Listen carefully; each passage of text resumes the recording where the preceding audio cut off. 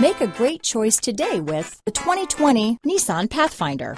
The Pathfinder has a premium interior with three rows of seating for up to seven passengers, as well as versatile seating and cargo configurations.